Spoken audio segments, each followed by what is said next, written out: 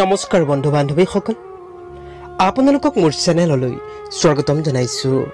বন্ধু বান্ধৱীসকল তুলসী গছ যদি আপোনাৰ ঘৰত আছে তেন্তে এই কথা অৱশ্যেই মানি চলক। নহ'লে বিপদে দেখা দিব পাৰে। তাৰেই দুটামান কথা লৈ আপোনালোকৰ ওচৰত উপস্থিত হৈছোঁ। বন্ধু বান্ধৱীসকল শাস্ত্ৰত কৈছে তুলসী গছ থাকিলে মৃত্যুৰ দেৱতা যমৰাজু হেনো ঘৰৰ ভিতৰ সোমাব নোৱাৰে আৰু বাস্তুশাস্ত্ৰৰ দিশৰ পৰাও তুলসীৰ গুৰুত্ব কম নহয়।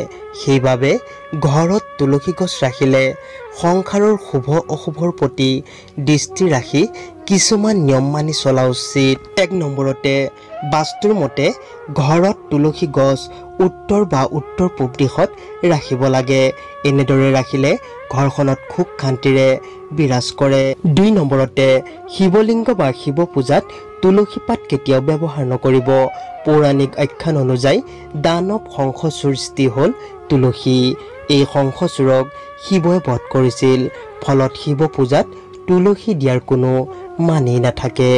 তিনি নম্বৰতে ৰবিবাৰ বা কোনো একাদশীৰ দিনা কোনো গছৰ পাত বা তুলসী পাত ছিঙিব নাপায়। আনকি সূৰ্য বা চন্দ্ৰগ্ৰহণৰ সময়তো তুলসী পাত ছিঙিব নালাগে। ইয়াক অশুভ বুলি পৌৰাণিক আখ্যানে কয়। চাৰি নম্বৰতে তুলসী গছ শুকাই বা মৰি গ'লে তুলি নি য'তে ত'তে পেলাই দিব নালাগে। নদী বা পুখুৰীতহে পেলাব লাগে। ঘৰত বা বাগানত মৰা তুলসী গছ ৰখা সংসাৰৰ বাবে অশুভ বুলি মনা হয়। মৰা গছ আঁতৰাই তুলসীৰ নতুন পুলি লগাব লাগে। পাঁচ নম্বৰতে তুলসীক আমি স্থি গছ হিচাপে গণ্য কৰোঁ।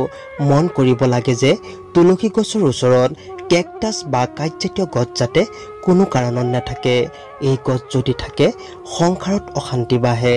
ছয় নম্বৰতে তুলসী হৈছে অক্সিজেনৰ শক্তিঘৰ।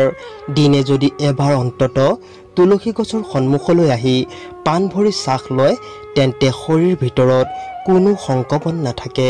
সকলোবোৰ সংক্ৰমণ